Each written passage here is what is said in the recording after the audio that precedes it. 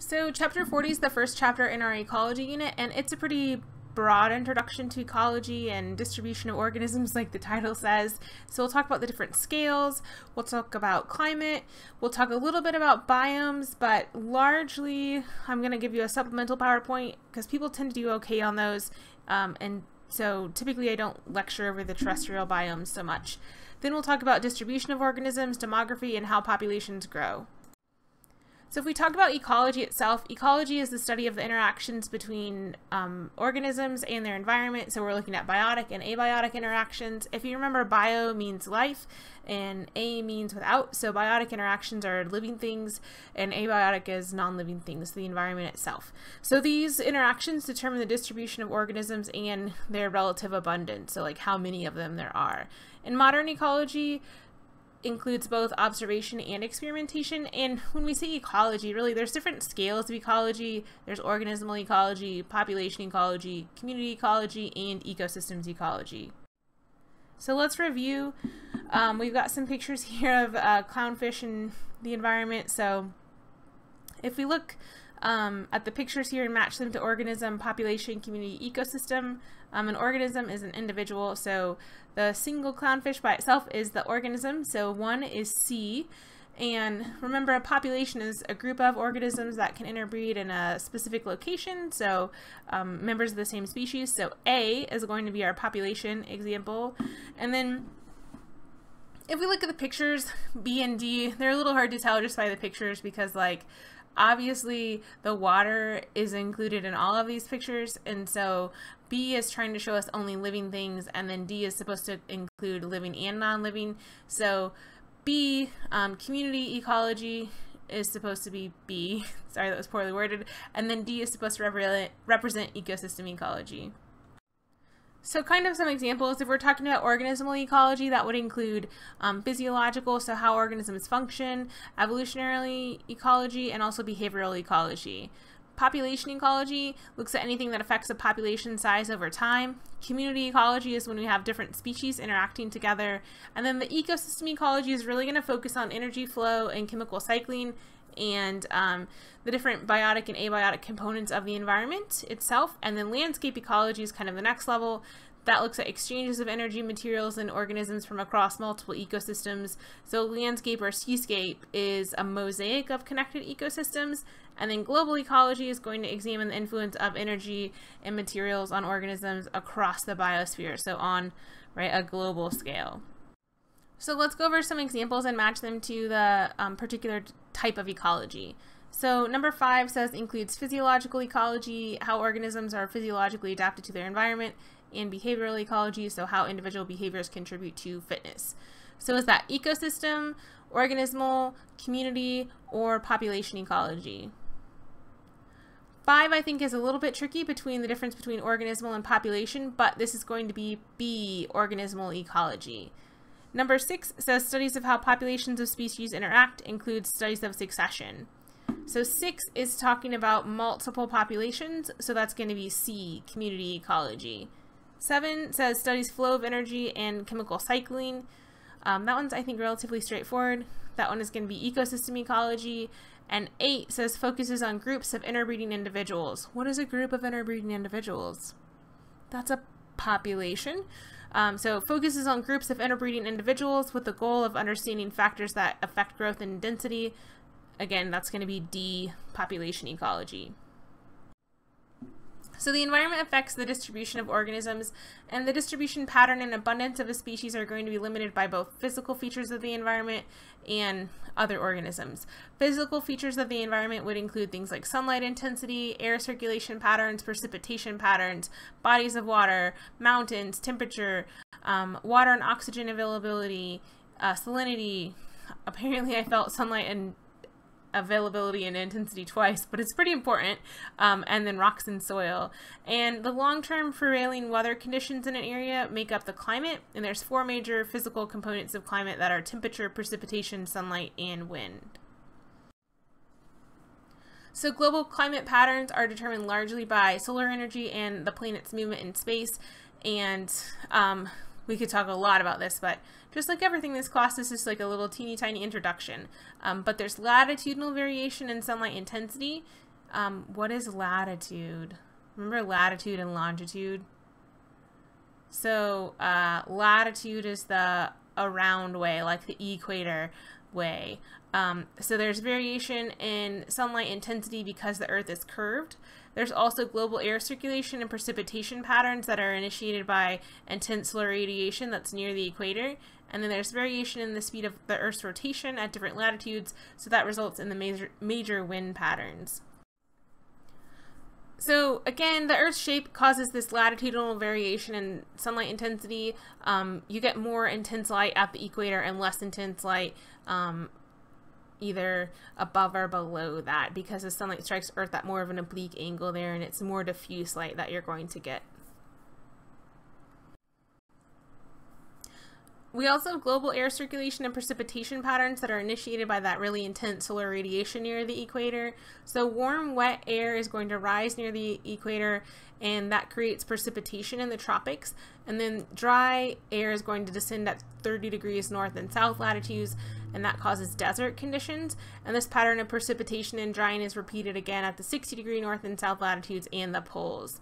And then variation in the speed of Earth's rotation at different latitudes is going to result in the major wind patterns. I don't care that you memorize this so much, but the trade winds blow east to west in the tropics and the westerlies blow west to east and more temperate zones. So here's kind of a picture that shows you um, that pattern with the trade winds and the westerlies.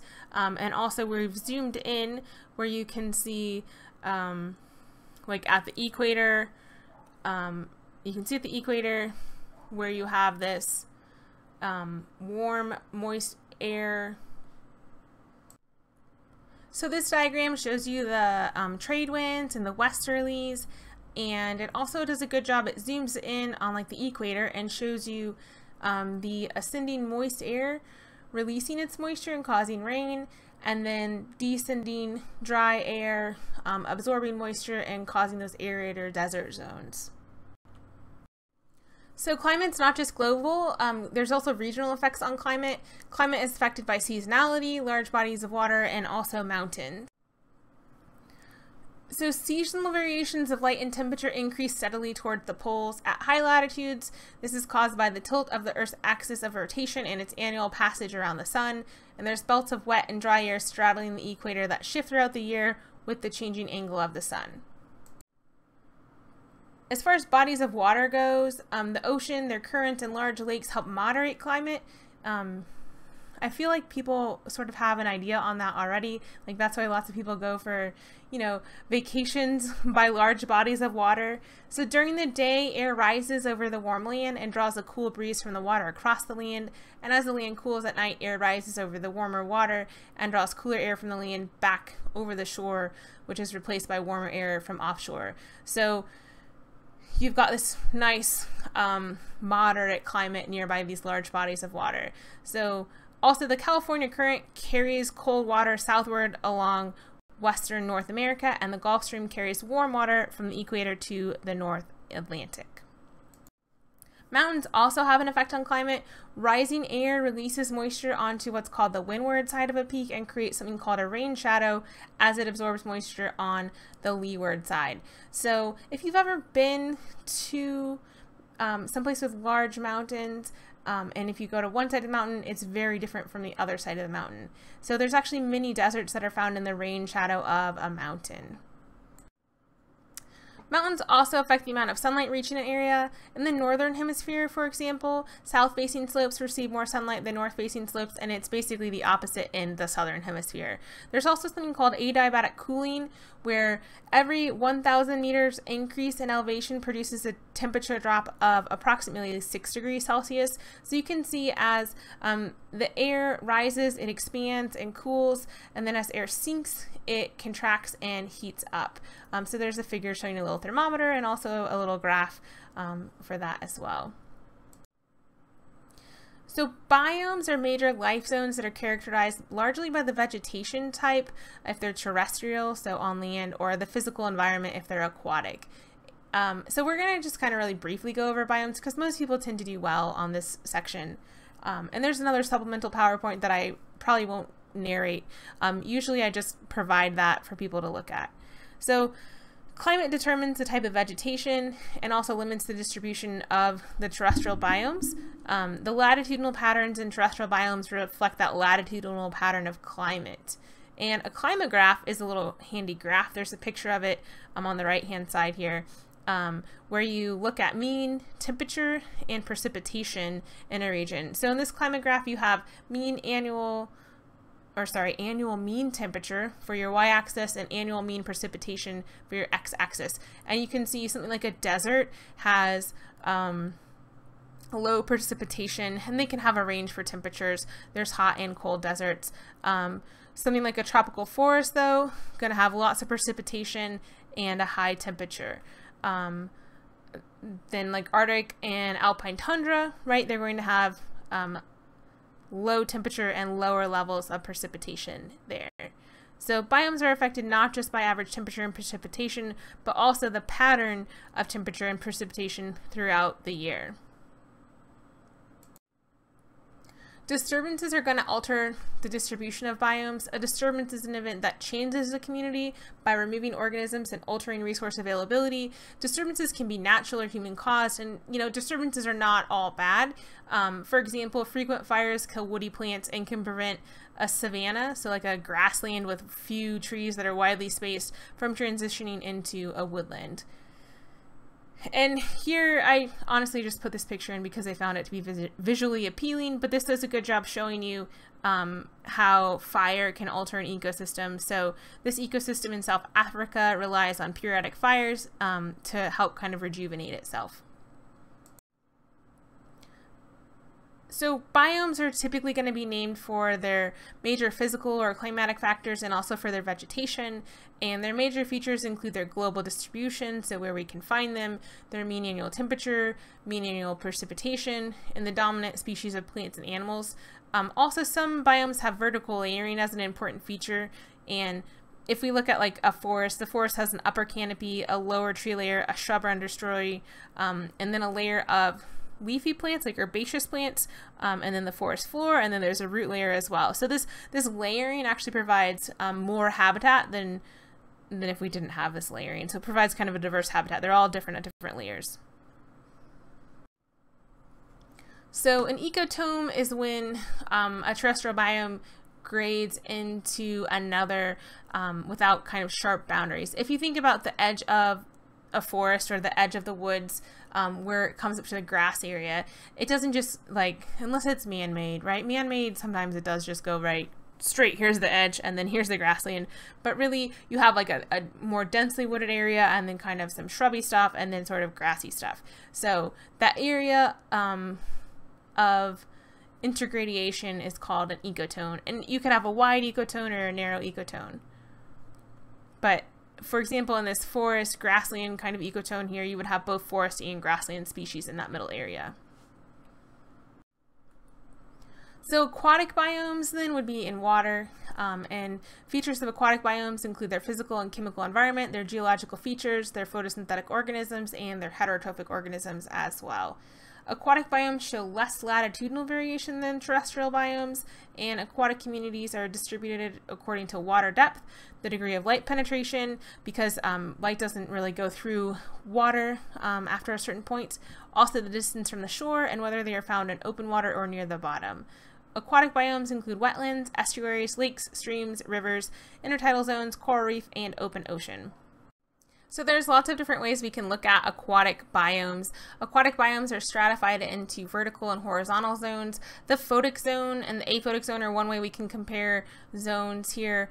Um, remember A means without and photic is referring to light. So the photic zone has light that's sufficient for photosynthesis um, and the aphotic zone relieves little light.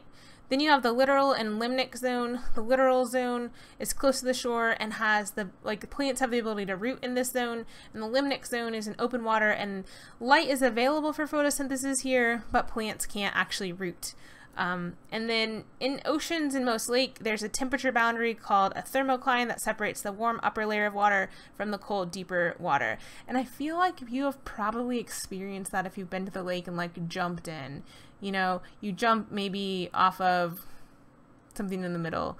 So maybe off of another boat or something like that, right? You jump off of it and at first it's warm and then if you keep going down, it's pretty chilly. So you've probably experienced a thermocline before. And here's just a picture of that. So you can see in the littoral zone there, you've got your aquatic plants that are rooted in. Limnic zone, um, there's not the ability for the aquatic plants to root in there. You've also got the photic zone where photosynthesis can occur and the aphotic zone beneath that where um, the light does not penetrate. Wetlands and estuaries are some of the most productive habitats on Earth. They support a lot of producers, meaning they can support a lot of consumers, and they support these producers because they have a high nutrient level. They do, however, have low dissolved oxygen levels because of their high productivity and um, decomposition levels. So plants in these areas need to be adapted to growing in periodically anaerobic or oxygen um, low soils that are saturated in water. So wetlands um, are inundated by water at least sometimes and support plants that are adapted to these water saturated soils. Um, these occur along shallow, shallow basins, along flooded riverbanks, or on the coast of large lakes. Estuaries are this kind of transition between the river and the sea, and the salinity level varies there with the rise and fall of the tides, um, and so plants need to be adapted to that and other organisms as well. And this includes a complex network of tidal channels, islands, and mudflats. So here's a basin wetland in the United Kingdom, just if you needed an image of what a wetland looks like. So lakes vary in size from a few square meters to thousands of square kilometers. And I mean, I feel like you know what a lake looks like, probably. So temperate lakes may have a seasonal thermocline, um, and tropic lowland lakes may have a year-round thermocline. And then we can talk about lakes based on their nutrient availability. So an oligotrophic lake is a nutrient poor lake, and they generally are oxygen rich. And then a eutrophic lake, they're going to be nutrient rich, um, but often depleted of oxygen. So if you have a lot of nutrients available, then you have a lot of organisms utilizing those nutrients, and many organisms are doing um, cellular respiration, which requires oxygen, so they're using up the oxygen. Um, a bit later, we'll talk more about cultural eutrophication, where um, human nutrient release has caused um, artificial enrichment of nutrients in lakes, and that can lead to an algal bloom. Um, and then the algae has a short lifespan and dies, and then organisms that are decomposing those algae um, use up the oxygen available in the water, and then that's going to kill organisms like fish that require that oxygen. So an oligotrophic lake being nutrient poor isn't necessarily a bad thing, and a eutrophic lake being nutrient rich isn't necessarily a good thing. So here's a picture of an oligotrophic lake in Alberta, Canada, which looks pretty pretty nice to me, I think. So again, I feel like you know what a stream and a river is, but um, streams and rivers have varying environmental conditions from the headwater to the mouth, and maybe you haven't, um, you know, been up and seen a headwater before. Headwater streams are generally going to be cold and clear and turbulent. They're going to be swift moving and oxygen rich, and they're often narrow and rocky. Downstream, um, we're going to form rivers, and they're generally going to be warmer and more turbid. I think people don't necessarily know what turbidity means. Um, turbidity, like turbid is like cloudy. Um, so there's particles suspended in it.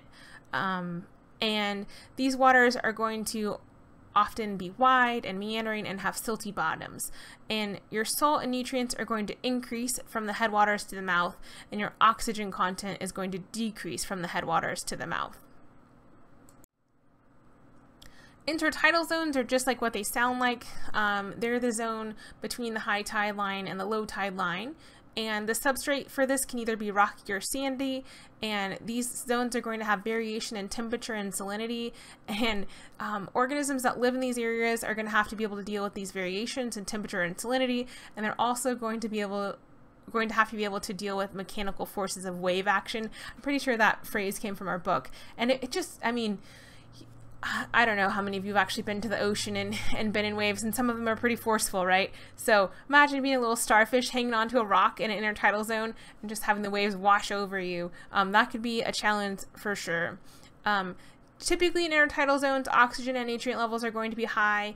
Um, sandy zones are going to support seagrass and algae, and rocky zones support these attached marine algae, and also um, many animals that have structural adaptations like the starfish for just gripping onto those rocks there. Um, so there's a picture of a sandy intertidal zone and a rocky intertidal zone there. A coral reef is another one I think you're probably familiar with. Uh, coral reefs form, or sorry, corals form mutualisms with symbiotic algae um, that provide them organic molecules, and then the reef itself is formed from the um, calcium carbonate skeletons of the corals. Uh, coral reefs require high oxygen concentrations and a solid substrate for the corals to attach to. And there's um, shallow and deep sea corals. Um, and the shallow reef building corals live in the photic zone and warm, clear water, and deep sea corals live obviously deeper. The pelagic zone of the ocean covers approximately 70% of the Earth's surface, and this tends to be high in oxygen because the water is constantly mixed by wind-driven oceanic currents. And you have turnover in temperate oceans that's going to renew the nutrients in the photic zones, so the photosynthetic organisms are continually getting um, nutrients that way. Um, phytoplankton is the plant-like plankton, and those are the dominant photosynthetic organisms. And then you have zooplankton, which are going to be your animal-like plankton, and that includes protists and worms and krill and jellies and invertebrate larvae that feed on the phytoplankton. Then you also have free-swimming animals um, like squid and fishes and sea turtles and other marine mammals. So the benthic zone is the seafloor. Um, obviously, the the depth of this can vary. Organisms in the very deep benthic zone um, the abyssal zone are adapted to continuous cold water and high water pressure. Um, the substrate there is mainly soft sediments and there's some rocky areas. More shallow areas contain seaweeds and filamentous algae. Uh, filamentous just means, means like a long, like stringy algae. Um, there's also deep sea hydrothermal vents in some areas. So these are dark environments that are hot. Um, they come from volcanic origin and instead of photosynthetic organisms here or photoautotrophic organisms they have chemoautotrophic prokaryotic organisms that are kind of the base of their food chain or the producers for this system. Um, in this system you can find giant tube worms, you can find arthropods, um, echinoderms, um, so those kinds of things can be found in the hydrothermal vent ecosystem or community. If we kind of switch gears here and talk about distribution of species in general, um, species distributions are a consequence of both ecological factors and also evolutionary history. For example, geographic isolation can result in the evolution of unique lineages that are restricted to specific areas. So like Australia is pretty geographically isolated um, and there's uh, unique marsupial lineages there like kangaroos that occur only in Australia and nowhere else in the world other than like zoos, right? Um, so ecologists have to ask questions about where species occur and why they occur where they do. Um, ecological factors including food availability, predators, and temperature can influence the movement of species outside of their native range. So if we start with the question like why is species X absent from a particular area, we could say, does its dispersal limit its distribution? Like, can it get to those areas? Um, if yes is the answer, then we say, well, the area is inaccessible or there's insufficient time. Or if we say no is the answer, then we want to know, are there other biotic factors um, that limit its distribution, like other species? So is there predation, parasitism, competition, disease that's limiting its spread? If not, are there abiotic factors, so non-living factors that limit its spread. Um, are those factors chemical or are they physical? Chemical would be like water availability, oxygen availability, salinity, pH, soil nutrients. Physical factors would be like temperature, um, light availability, soil structure, um, fire. Some organisms need fire to, like some plants need fire to stratify their seeds in order for those seeds to germinate. Um, moisture levels, those kind of things would all be physical factors. So like why do we find certain species in certain areas? So dispersal is just that movement of individuals away from centers of high population density or from their area of origin, and dispersal contributes to the global distribution of organisms. Um, Transplants indicate if dispersal is a key limiting factor. So that would be organisms that are intentionally or accidentally relocated from their original area to a new area. I'm not saying that this is a good thing to do, um, but transplants indicate a species potential range is larger than its actual range. Um, and species transplants, again, can really disrupt the communities or ecosystems which they're introduced into. Um, so generally speaking, we really try and avoid transplants. So if we look at biotic and abiotic factors that um, limit Uh, dispersion, biotic again is living, abiotic is non-living. So biotic factors would be like predation or herbivory or mutualism or parasitism or competition. Abiotic factors would be like temperature, water and oxygen availability, salinity, sunlight, and um, rock and soil type.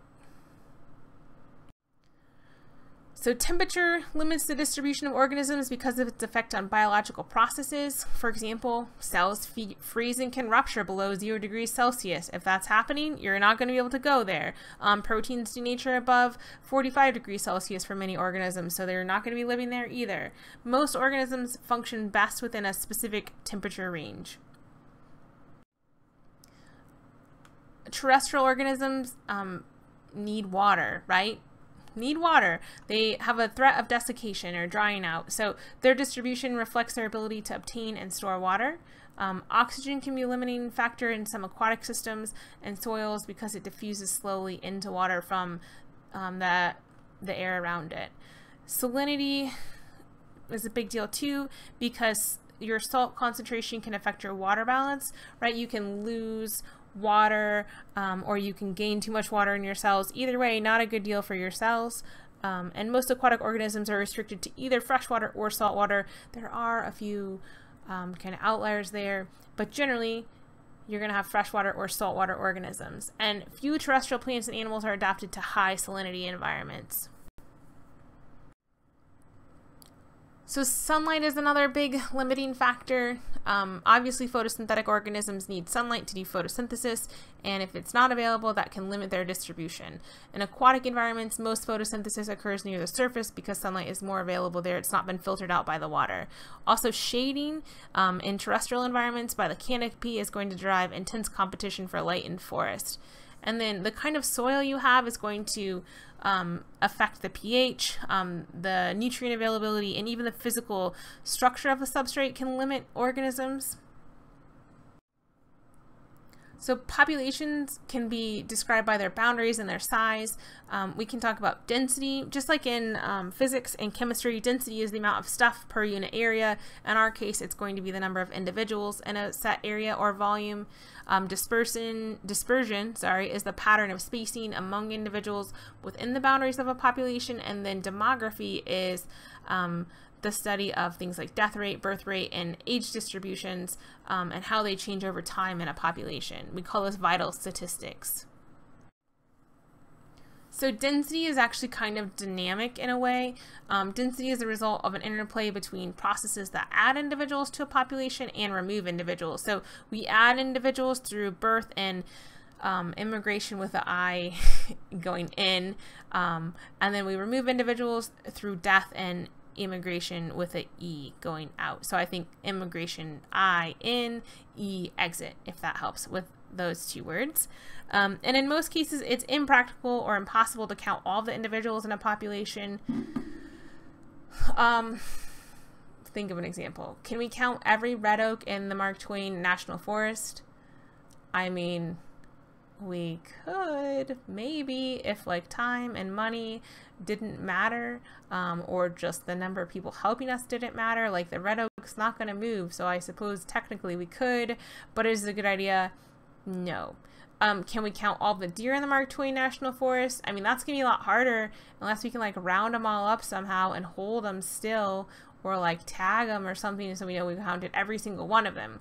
So typically we don't count every single organism in an area, um, but we do use different sampling techniques um, to get an estimate on um, population size and density. Um, and then if we have an estimate of a small area, we can um, use that to indicate an overall population size. So again, when we're looking at a population, um, organisms get added to the population with the birth or immigration, um, and then we lose individuals from the population with death or emigration.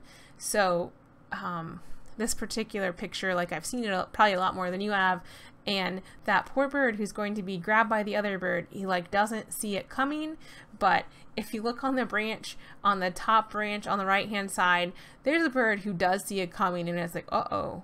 So I don't know, that picture kind of cracks me up a little bit. Somebody put some detail into that one. So when we look at population density, um, there's lots of ways we could do it. Um, sometimes people start with a simple visual count and they have little like clickers you can keep track of. So like when you are counting, instead of actually counting, you just click every time you see an organism. Um, and then you look at the number on your little clicker deal there. Um, also, there's different capture methods. Um, that you can use. Um, however, sometimes animals learn to either avoid the traps or actively seek them out if they're food baited. Um, for example, um, sometimes they'll bait traps for catching bears with like jelly donuts, but they can catch the same bear again and again and again because it really likes the jelly donuts. Um, in the pictures here, they've got a quadrant, which is good for plants. Um, that's like a, a, meter squared area, and you count all the plants in that area. In picture B, they have pitfall traps, so you place um, you dig a hole and you place a cup. Um, sometimes you, it depends on what you're doing, but you might put um, a layer of something like Vaseline around the edge, or you might put alcohol on the trap. Not like the kind you drink, but like isopropyl alcohol um, in order to keep whatever's in there from crawling out of the trap. Um, mist net would be good. In this case, it's dark, so they're using it for bats, um, but you can do mist nets for um, small mammals or small birds. And then there's a live mammal trap in the last picture and you know, obviously your trap size is going to vary depending on what kind of animal you're trying to catch there. So these different sampling methods are going to allow us to extrapolate the number of captured organisms um, to the size of the overall population. Quadrants are, you know, half meter by half meter or meter by meter squares, and th that's good for small plant species. Um, but you wouldn't want to do something like a red oak, like a mature big oak tree, because it's going to take up half or more of your quadrant, so not a good way to count them. Um, you could use a line transect method if you wanted to do something like that. Typically, you'll use like a 100 meter line, and um, sometimes they'll do sampling ac across that whole 100 meter line. Um, or you might do a quadrant at 0, 25, 50, 75, and 100 meters um, to get an idea of your smaller plant population there. Mark recapture method is another good one. Um, with this, you have to mark animals with the tag or other system so they're recognized when they're captured again. Um, so there's a couple marked animals there. The tag needs to be permanent um, and it needs to not affect the organism too negatively. So environmental and social factors are going to play a role in how organisms are going to be found in the population. Three like sort of general patterns of dispersion include clumped, uniform, and random. Um, clumped dispersion is the most common because resources tend to be clustered in nature. And also organisms that are pro-social um, are going to be more likely to be found together or with each other. Um, uniform dis dispersion um, is when organisms are more uniformly spread out, right? Obviously, and organisms that have a particular range um, might have more uniform dispersion. Um, competition for resources can cause this pattern, um, and again, it could also be from social interactions. If you're like, "Hey, this is my area, you stay out," um, then you can have more uniform dispersion. Random is going to be the rarest because resources are rarely randomly spaced, um, but if resources are super common and abundant in an area, um, you might have random dispersion. So let's label the images with the appropriate dispersion pattern, clumped, uniform, or random. Um, I feel like this is relatively straightforward. I think it's easiest to start with random. No, I think it's easiest to start with uniform. So um, our third picture where we have our nesting seabirds, that's going to be uniform dispersion. And one thing about dispersion patterns is if we kind of look at different levels, we might have things that are more clumped or uniform.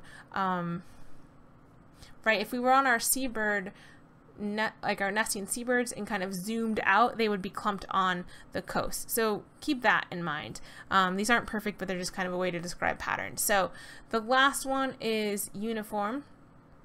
Um, and then if we look at the first picture, the first picture is going to be random and the second picture is going to be clumped. So it goes random, clumped, uniform. So demography is the study of the vital statistics of a population and how they change over time. Demography tends to focus on um, birth rates and death rates because those are pretty easy to track or easier to track. So life table is an age-specific summary of the survival pattern of a population. This is made by following a cohort, um, or it's best made by following a cohort, um, which is just a group of individuals of the same age from their birth to their death. You maybe have heard the term cohort before if you are planning on getting into like a selective admission program. Um, like if we take the physical therapy assistance program, for example, the PTA program students, once you're accepted in, um, you take your classes together as a group and you're moved through um, from entrance into the program to graduation, which is a little bit better than from birth to death. Um, then if we go back to life tables, when we have sexually reproducing species, oftentimes they ignore males because only the females are truly producing the offspring. I know that's a little maybe complicated there, but um, that's typically what they do. It's a little easier to track that way. Um, so you can see here they've got a life table for the female Belding's ground squirrels, and from the first um, age period zero to one year old, um, they had 653 to start with. Um, everybody was alive at the start of the year, and they had a death rate of 0.614, um, and um, there was an average number of zero female offspring. If we jump forward to the six to seven year range, um, these guys are not, or these ladies, these gals are not living too long. You've got nine alive at the start of the year. Um, in the seven to eight range, you got five alive, right? So we've lost some. Eight to nine range, lost some more. We got four alive. Nine to ten, there's one left there. Um, but think about it, 10 year old ground squirrel, that's pretty old. So a survivorship curve is a graphic way of representing the data in a life table. And really, these are kind of oversimplifying it, and not all species fit neatly into these survivorship curves. Some have a kind of intermediate curve or even a more complex pattern, um, but this is just a way to generally talk about organisms. So Survivorship curves are going to plot the proportion or the numbers of a cohort still alive at each age, and again, we can generalize them into type 1, type 2, and type 3 curves. So an organism with a type 1 survivorship curve has high survivorship during early and middle life, followed by a steep drop um, due to an increase in death rates among older age groups. Type 2 survivorship curves, um, they have kind of a rough life. Um, they have a uh, equal chance of death at any age. Um, type 3 survivorship curves have um, low survivorship due to high death rates for young age groups and stable survivorship later in life um, due to a lower death rate for survivors. So we're going to look at the graph here and I think it'll make a little bit more sense. So if we look at a type 1 survivorship example, that would be humans. Um, we tend to have good parental care, um, so our young tend to make it past um, young into adulthood, and we tend to die off in adulthood.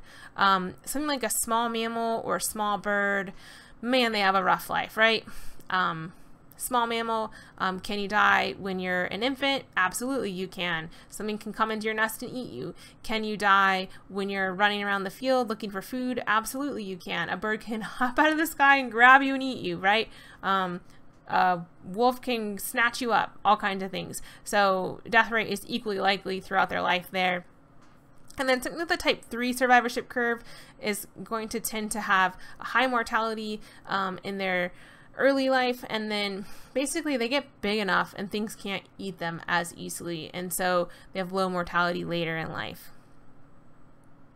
Um, so if we look at like a mussel, um, like a clam mussel, right? So a clam, let's say clam. So larvae um, get eaten up by all kinds of organisms, but once they get big enough, they're harder to pry open, and so then they tend to be long-lived. So let's match the organism to the survivorship curve it would have. Let's assume that there's like no poaching or hunting and things like that there. So we've got elephant, we've got a robin, and we have a gator. So um, assuming again that there's no hunting and, and no habitat loss and things like that, um, the elephant would have a type 1 curve because they take good care of their young, they protect them, and they grow to old age. Um, what about our robin? Yeah, it's a rough life. You can die as an egg, you can die as a chick, you can die as a robin. Um, pretty much equal chance there, so they're going to have that type 2 curve. And then if we look at that gator, um, they do have some parental care, but uh, lots of baby gators get eaten, um, but you get big enough and nothing really messes with you. So they're going to have a type 3 survivorship curve. So that brings us to age structure. Our book doesn't really talk about this. Um, they should, in my in my opinion, but they don't. Um, so I'm going to talk to you about it because I think it's worth mentioning. So with age structure, um, the relative number of individuals in each defined age group can be categorized as either pre-reproductive, reproductive, or post-reproductive. But if you think about, you know, any population, that's that's what they are. They're either too young to reproduce, they're at reproductive age, or they're too old to reproduce. So typically we display this as a pyramid, um, and that helps predict future population growth. So if we look at these pyramids, I mean, I guess they're not all pyramid shaped, um, but the increase in population one is a pyramid shape. Um, so the pre-reproductive group is large. That pre-reproductive group is going to grow up into the reproductive group. If they're still reproducing at the same rate, that would mean you get an even larger bottom in subsequent generations. Um, and so that's showing us an increasing population. Um, if we look at the stable population, the pre-reproductive group is about the same size as, or only a little bit bigger than um, the reproductive ages. So those organisms are going to grow up to become reproductive. Um, and then reproduce about the same amount. If we look at the decreasing population, you can see you have a small pre-reproductive group. So that pre-reproductive group grows up into the reproductive group and produces, again, fewer pre-reproductive individuals, so that population is getting smaller and smaller and smaller there. So it's kind of like an inverted pyramid. So to calculate change in population size, we need to look at um, the number of births coming in, the number of immigrants entering the population, and subtract the deaths and the organisms leaving the population. And if we ignore organisms entering and leaving, um, we can look at change in population size equal to births minus deaths. So populations can grow either with exponential growth or logistics growth logistic growth, sorry. With exponential growth, this is when resources are not going to be limiting. Um, this is when we have unregulated growth and we tend to see a J-shaped curve. And I'll show you a picture coming up so you can see what I mean by a J-shaped curve.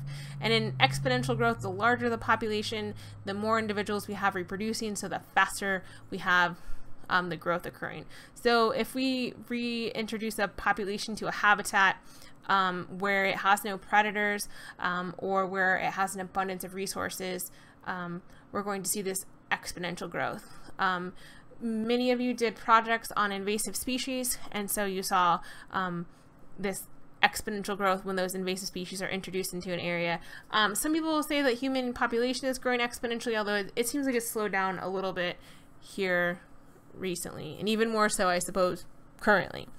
Um, logistic growth occurs when resources are limiting and that limits the amount of growth. So for most species, resources become limiting as the population grows and there's a carrying capacity, which is the upper boundary for a particular population. And again, I'm going to show you this on a graph so it makes more sense.